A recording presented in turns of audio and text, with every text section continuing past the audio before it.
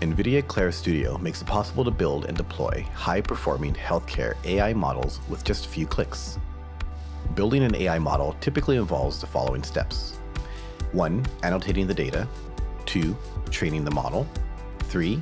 Evaluating the model's performance, and then repeating the above steps till you achieve good performance. Clara Studio includes all the tools you need to get started with training a deep learning model for healthcare. It includes the open source Orthanc DICOM server and the OHIF Medical Imaging Viewer enabled with NVIDIA Clara's AI-assisted annotation capability. And for more advanced users, it also includes Jupyter Lab with interactive example notebooks and of course, a shell terminal. To kickstart things, Clara Studio includes a list of publicly available datasets that you can quickly download. If you have your own dataset, you can simply import it into Clara Studio. After you've downloaded or imported your data, you can explore the images through the built-in web-based viewer. If you need to apply some transformations to the images to prepare them for training, you can quickly do so using the pre-built Clara transforms. If you need to annotate some fresh data, you can do that as well using NVIDIA Clara's AI-assisted annotation plugin inside the OHIF viewer.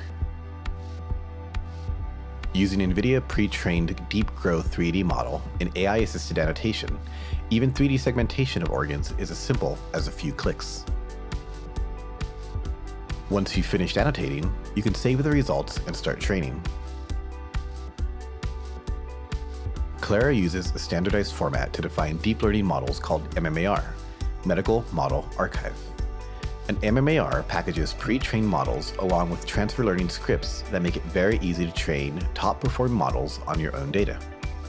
NVIDIA provides dozens of free pre-trained MMARs through our software hub called NGC, and are readily available for download and use from the MMAR page in Clara Studio. We went ahead and downloaded the Spleen Segmentation MMAR and can use it to train a new model on our Spleen dataset. Since you have already annotated your data, you're ready to train the model.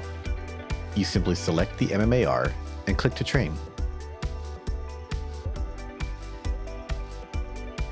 Once you finish training the model, you can visually inspect how your model performs by running inference on a sample image directly from the built-in viewer.